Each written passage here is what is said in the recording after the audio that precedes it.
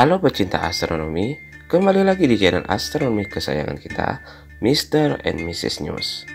Kali ini, kita akan membahas terkait astronom telah mungkin menemukan planet termuda yang pernah terdeteksi di galaksi kita. Planet apakah itu?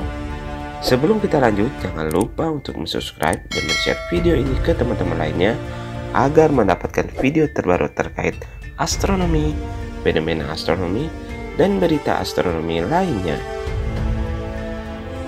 Para ilmuwan yang mempelajari bintang muda AS209 telah mendeteksi gas di piringan Kirkum Planetary untuk pertama kalinya yang menunjukkan bahwa sistem bintang mungkin menyimpan planet bermasa Jupiter yang sangat muda.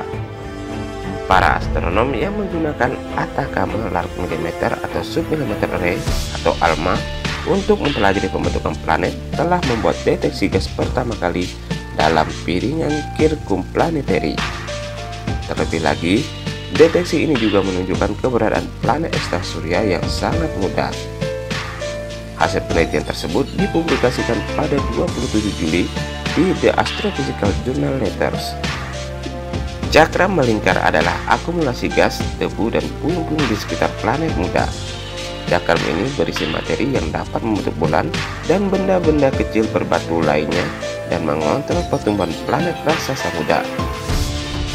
Menganalisis cakram-cakram ini pada tahap paling awal dapat membantu menjelaskan pembentukan tata surya kita sendiri, termasuk bulan-bulan Galilea Jupiter yang diyakini para ilmuwan terbentuk di piringan mengelilingi planet Jupiter sekitar 4,5 miliar tahun yang lalu.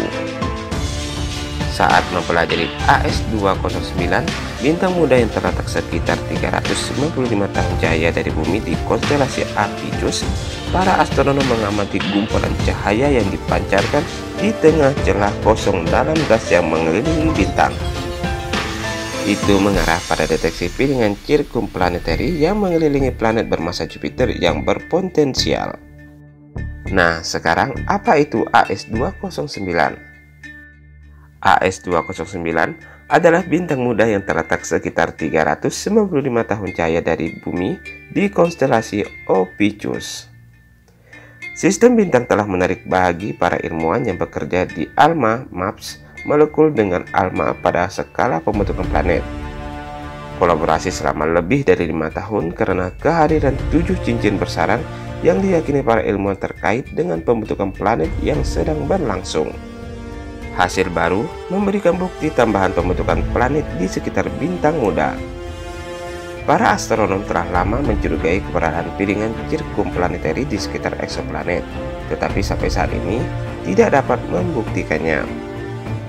Pada tahun 2019, para ilmuwan ALMA membuat deteksi pertama dari piringan planetary pembentukan bulan sambil mengamati planet estar surya muda PDS 70C dan mengonfirmasi penemuan tersebut pada tahun 2021. Pengamatan baru terhadap gas dalam piringan Kirkum Planetary di AS209 dapat mengungkapkan rincian tambahan tentang perkembangan atmosfer planet dan proses pembentukan bulan.